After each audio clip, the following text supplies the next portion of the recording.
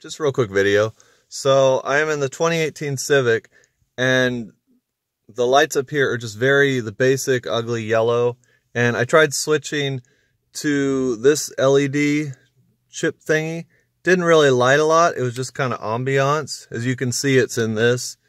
It, it looks bright on the video, but it's really not. It's just white dim light. And then people on the Civic X forum said that this one, the Sirius LED, uses the 3030 chip. It's supposed to be super bright. And I put it in this one, and it it really is bright compared to this. This one's just sad. And it's actually providing usable light. It's a little bit of a warmer color, but not bad. And also, just for reference, not sure how many people know this, but the easiest way to take these out, because some people say to go from the side and then you're afraid of cracking it. If you push this in to turn it on, then you push it in again, wedge something in here, and then kind of pull it, it pops out like that, super easy.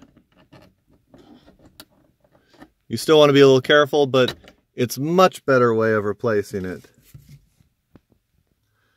And one quick test I wanted to do, the one on the bottom is what I what I used for the middle dome light and it's very bright.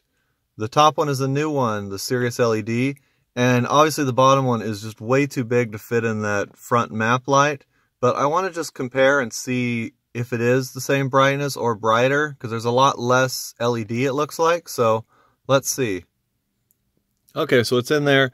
I tried to put this thing over it because it's just way too big, just to give you an idea of what it would look like. It's obviously a, it's a cooler color, which I would prefer, but it seems brightness-wise, it's roughly the same because this one has one pointing down while this is all sideways.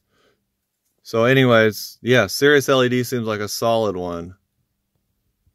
So I'm going to just wrap it up and I give it a five star.